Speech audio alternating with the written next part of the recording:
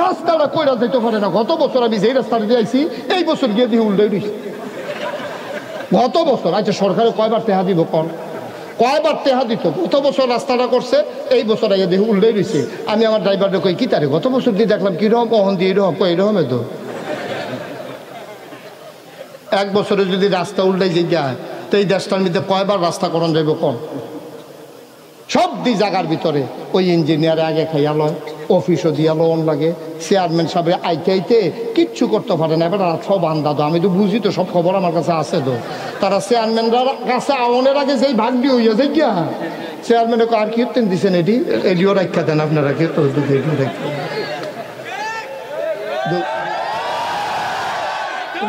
আমি কি বে ঠিক কথা কই না? যেন তারা ঠিক কইতেছে, মনে হয় বাহির সব দিবে ঠিক এটা খালি ঠিক। ভাইও কুদ্দুর চিন্তা করে নো। কুদ্দুর চিন্তা, আমরাও না দান কম না আমরাও খাদ্য খারাপ আছে। যখন ওই অফিস দিয়া যায় চেয়ারম্যান মেম্বারের উপরে দিয়ে এমপি মন্ত্রীর উপরে ওয়াজও যায়, আমরা তারা যেই খুশি হয়, তোমরা খাচ্ছ বলা বুটের আগে রেটে খাইছো না তোমরা? তোমরা বুট বেচে বেচে টেহা কম খাও তোমরা? আমার ডাহাডাহি করেন না। ওয়াজের নমুনা বুঝতেছেন না, কি যাইতেছে হ্যাঁ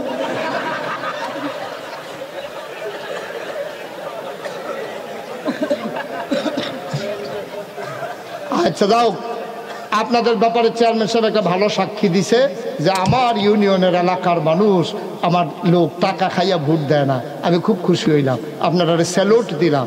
এইটাই আমি চাই। কেন টাকা খাইবেন? ভোট একটা আমানত। এটা আপনি যারে ভালো মনে করেন তারে দিবেন। আপনি এটা ঠেয়া খাইবেন কি রে? হেতারার মতো? কই আমরা কি কুন্তারার মতো? মনে করছে আর ভিতরে খেলা আপনার কই মুরাদনগর? আপনার তো দেবিদ্যা তার লেগে কইতাম পারা মুরাদনগর গিয়েই কথা কোনো কইয়া খারাপ থাকুন যেত না। মুরাদনগর উনিশশো নব্বই সাল একানব্বই সালে একটা সংসদ নির্বাচন হইল না? একানব্বই সালের পরে আমারে দাওয়াত দিতে আইছে মুরাদনগরতে আমি সেই সময় তো শুধু ওয়াজি এত বড় ওয়াজি না আমারে তারা আপনারাও এত চিনেন না। তখন আমি ওই সিফা সাফাত উড়ানো উড়ানো কলাম উঠার সিফা সাফাত কোনো কোনো মাইক লাগাই দিল কতক্ষণ কথা কইয়া মুরগা চালন দিয়ে ভাত খাওয়াই দেয় ব্যাগ দিয়ে এরকম আর কি এরকম বলছি এর ভিতরে দিয়া আমি গিয়ে একদিন রাইতে ওয়াজ করে উঠতে আমার স্বাস্থ্য ভাই আমার ভাইসা এই একজন লোক আইসে আপনারা দাওয়াত দিতে, আমি তো ভালো দিয়ে উঠছি। দাওয়াতে আমি বিচারি আর দাওয়াতে আমার বিচারে কেন? আমি দিয়ে উঠতে চলে গেছি, পরে আমি কই করতে আইসি কই মুরাদ ন করতে? তা আমি আমার ওয়াজ হ্যান পর্যন্ত গেল কেমন? কই, হুজুর গেছে না, নিছে। আমি কেডা নিছে? সেই সময় ক্যাসেট আছে। এই কয়েক ক্যাসেটও করে নিই ভাবলাম মোবাইল টোবাইল আমরা বাড়িছে না। কয়েক ক্যাসেটও করে নিছে। তো আমি কই, তো আমরা নিয়ত করছি, আপনারা দাওয়াত দেন যে তো ওয়াজ হইনা গেছে, তে আপনার এলাকায় শ্বশুর বাড়ি কখনো বলে আপনার ওয়াজ হচ্ছে হ্যাঁ তো কইছে খেদ বেসন লাগল আমি এনা বেসাম হুজুর আইনা দেন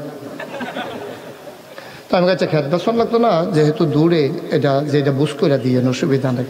তা আমি গেছি পরে, গিয়া সেটা ওই হেবাড়ায় যখন দাওয়াত দিতে আইছে, তো জিগাইলাম, এমনি বাইদা বাই জিগাইছি আর কি। আপনার এলাকায় এই যে পহেলা অক্টোবর নির্বাচন, উনিশশো একানব্বই সালে, এটা হয়েছে নি পেজি হুজুর হয়েছে তা আমি নির্বাচন কীরকম হয়েছে কয় যে, হুজুর, আপনি যদি শুনেন নির্বাচন কেমন হয়েছে আপনি আফসুস করবেন। ইস, আমরা বাড়ি যদি মুরাদনগর হইতো। রে, এটা আমি আফসুস করলাম যেতাম আমরা বাড়ি বাউন ফরা দিকে মুরাদনগর বাড়ি করলাম? তো আমি এটা কীটা করলেন আপনার? কন্যা হুজুর, ওই আন্তাজটা কইছি আর কি। আমি ওই কি আন্তাজ? তো নির্বাচনের আগের রাইতে একবারে হইতে রয়েছে আইয়া সেটা এবারে সপ্তাহখানেক আগে, নির্বাচনের সপ্তাহখানেক আগে একবারে আইনা সেটা ঘুমেতে থাকে উড়েনো তো হুজুর, আমি ফাল দিয়ে উঠতে লাইছি উঠতে সরছি, পরে আমার তিন দেয়া পাঁচশো টিকা কস খুঁজছেন উঠ আইনা সেটা হাত দিছে, আমি গেলে, কি একটা তুমি কি আমার থেকে খেয়ার কিনছো? কয় না, তো কিছু কিনবা? কয় না, তো টেহা দাও গেলে। ও আপনি তো খবর রাখেন না, আমরা মুরাদনগর প্রতি ভোট পাঁচশো টেহা দাম উঠছে। তা আপনারা করে তিন ভোট না, তিন পাঁচশো পনেরোশো হেঁটে হারা রাখে তা আমি কই, ইয়া হুজুর দাওয়াত দিতে নিয়েছেন মাহফিল ভোট বেচা টেহা খান, এতে করে। কয়, না হুজুর, আমি খাইছি না তো। আমি কই কিতা কইছে? কয়, আমি কইছি যে, ও, নির্বাচনের বাহির হয়েছে অহনে এক সপ্তাহ। অহনে যেহেতু প্রতি বুট পাঁচশো টাকা দাম উঠছে, আগের রাইট কত উঠে নাচাই আমি টেহা রাখতাম।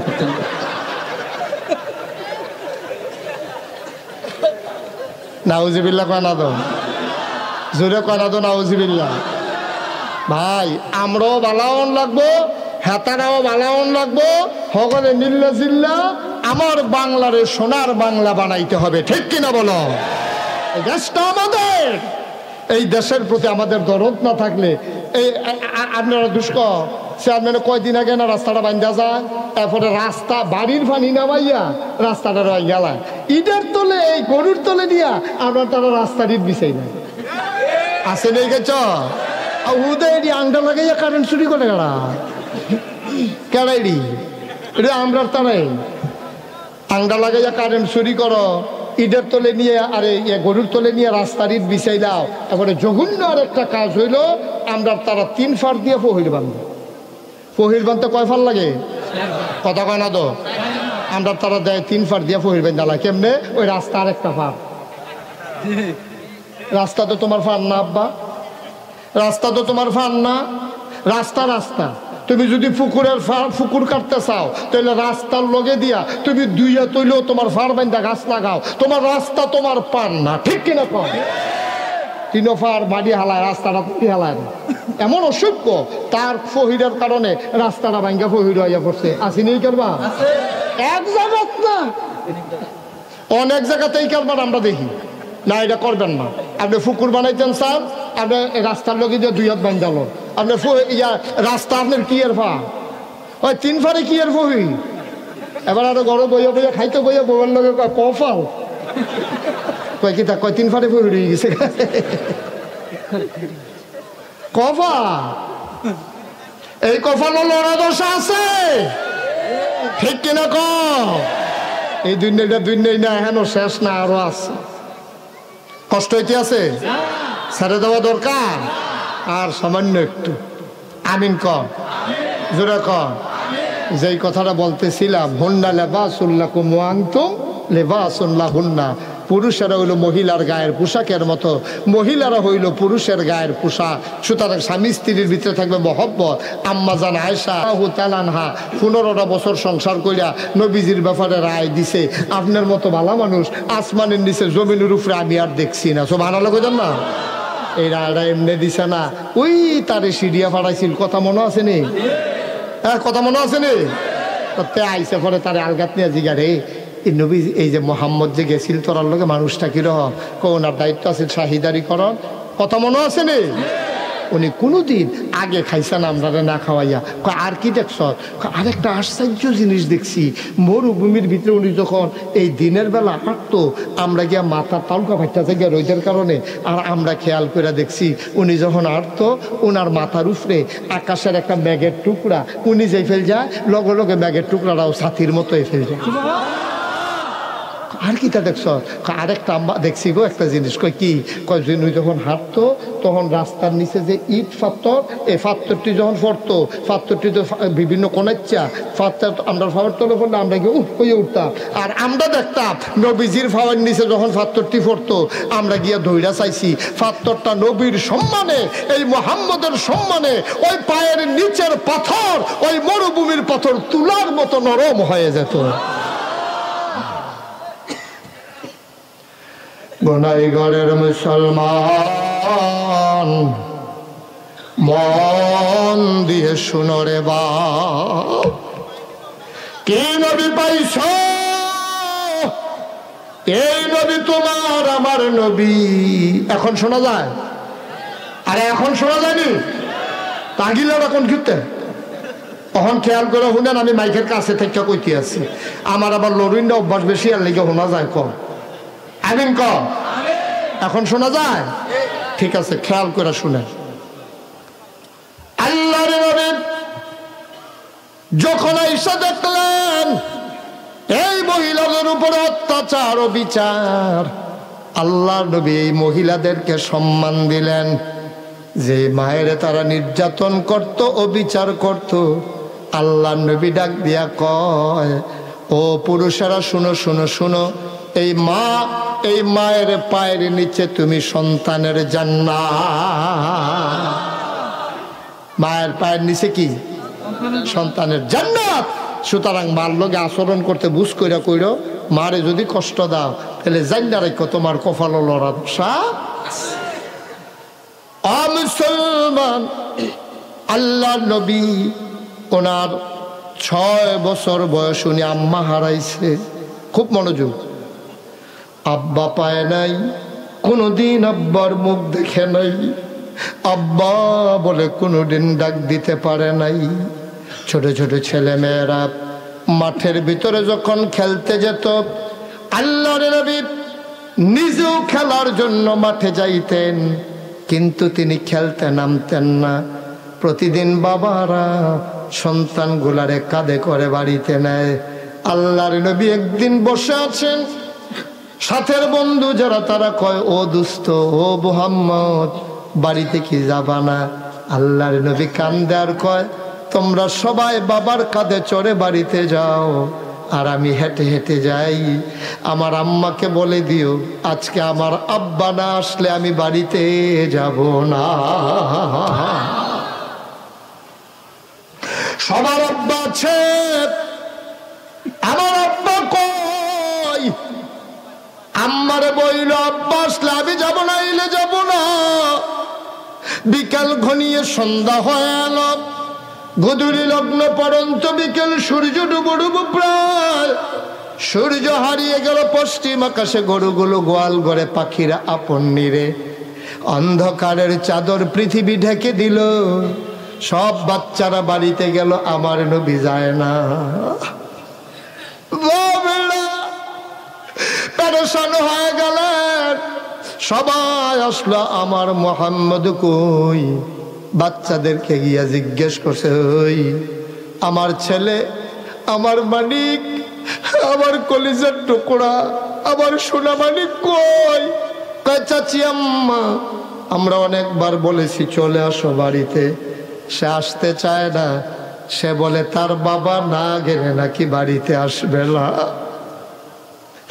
আব্বা যারা বেড়া দিলেন দৌড় দৌড়ে দৌড়ে দৌড়ে দৌড়ে মাঠের কিনারে গিয়া দেখে নবী বসে আছেন। এবার মা আমেনা গিয়া কয়, মোহাম্মদ, তোমার বাবার জন্য তুমি কান্দ যেতে চাও না। বাবার কি দরকার? আমি আছি না।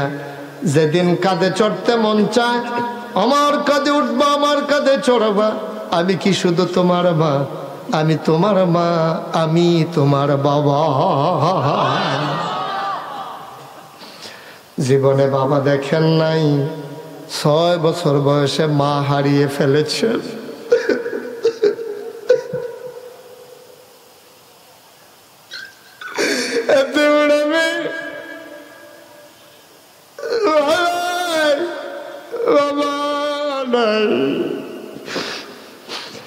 দাদা আব্দুল মুতালেব ডাক দিয়া কয়, তোর এমন কপাল মাও হারাইলি, বাবাও হারাইলি।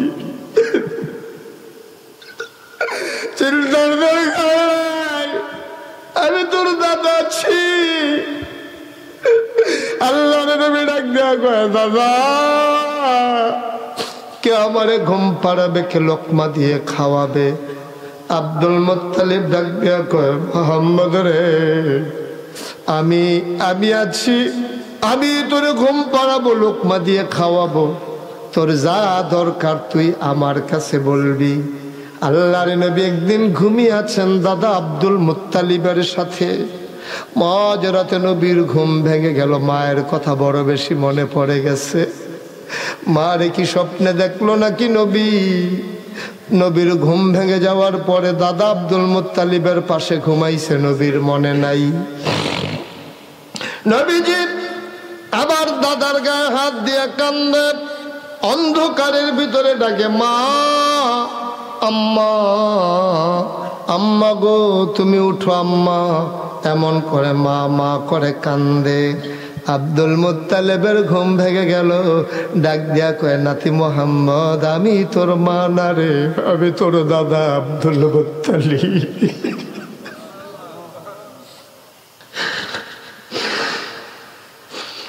আমি তোর দাদা লাগি। এই নবীজি একদিন মদিনায় মানুষের মাঝে গুস্ত বন্টন করতেছেন। লাইন ধরে লোক দাঁড়িয়ে আছে গুস্ত নেওয়ার জন্য আসছে। সবাইকে গুস্ত দিতেছেন। সবাই ভাগে ভাগে গুস্ত নেয়। নবী হঠাৎ করে তাকাইয়া দেখে একজন পিছনে মহিলা দাঁড়িয়ে আছে। নবী বললেন, গুস্ত বন্টন থামাও। গুস্ত বন্টন থেমে গেল। নবী দৌড়ে পেছনে গেলেন। ওই বুড়া মহিলাটারে জোড়াইয়া ধরলেন। কপালের ভিতরে চুমু খাইলেন। কোলে ধরে ধরে আইনার সামনে নবীর গায়ে একটা চাদর মুবারক ছিল।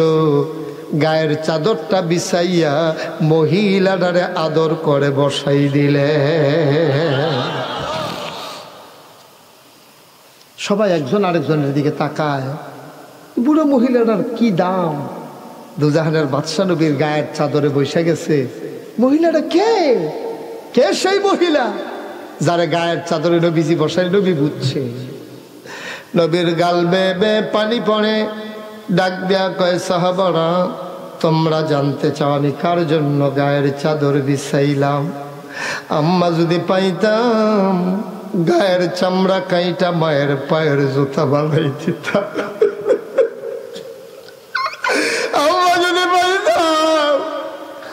আম্মার ইচ্ছা মতো খাতমত করতাম। আম্মা নাই, আব্বা নাই। আমি যার জন্য আজকে গায়ের চাদর বিছাইলাম, এই মহিলাটার কেউ না রে। এই মহিলা আমার দুধমা হালিমা তুসাদিয়া দুধ মারে পাইয়া নবী এমন করে, ও বাকসরের মুসলমান গোনাই ঘরের মুসলমান দেবিদ্দারের মুসলমান। মা পাইয়া, মা চিনলা না। আমার নবী দুধমার জন্য কেমন করল শুনে যাও।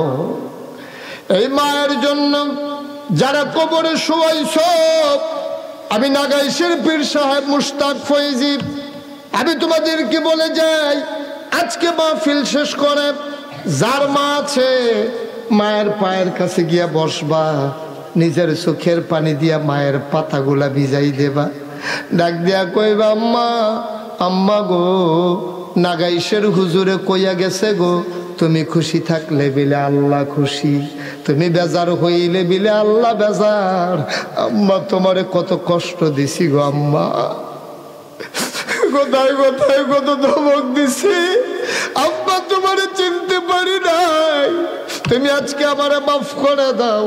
মা যার জীবিত আছে, তার পায়ে গিয়া চোখের পানি ফালাই দিবি। মা যার জীবিত নাই, কবরের পার্শ্বে দাঁড়াইয়া মায়ের জন্য চোখের পানি ফালাইয়া দোয়া করে দেবা। আমি এই মাহফিল্লার ভিতরে জানি না কার মা নাই, আমি জানি না কার বাবা নাই। সাতাইশ বছর ধরে মাহফিল করি ভাই। মাহফিলে গেলে ওজন, বুঝি মাহফিলের ওজন কত? আমার মন্ডায় সাক্ষী দিছে, আজকের বাকসার হয়েশা সিদ্দিকারা দিয়ে আল্লাহ তালা আনহা, এই মহিলা মাদ্রাসার মাহফিল আমার আল্লাহ কবুল করে নিয়েছে। সবাই মিলে আজকে দোয়া করব, মায়ের জন্য দোয়া করব, বাবার জন্য দোয়া করব। দোয়া না করে একটা মানুষও নড়বা না। আমি আর তোমাদের কাছে হাতটা বানাই, তোমরা শুনেছ প্রায় চার লক্ষ টাকার কত সুন্দর করে ভবন হয়েছে।